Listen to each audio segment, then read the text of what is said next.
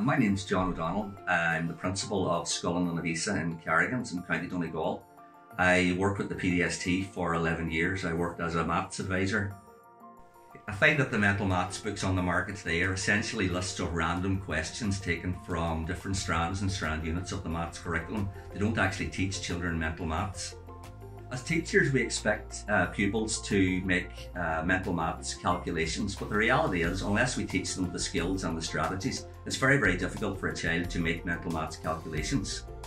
There are a series of six books from first class to sixth class. There are 160 lessons in each book, divided up into 32 weeks with five lessons in each week. The book is structured uh, so that every Monday you have target board activities Every Tuesday, we have a series of counting stick, number strip, 100 square activities.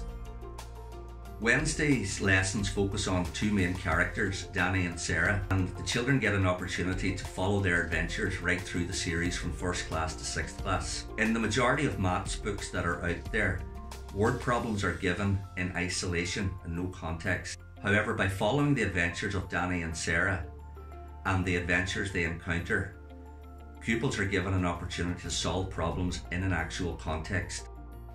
Friday is challenge day where pupils get an opportunity to review and consolidate work that they've done during the week.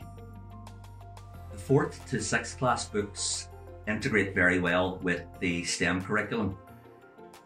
Pupils are given a task which they must research online. For example, planning a route uh, to travel from Castlebar to Dublin booking a holiday, uh, booking flights for the holiday, booking accommodation. So this is all work that they must go online to research themselves and it relates to real life problem solving in maths, which is advocated by the new curriculum.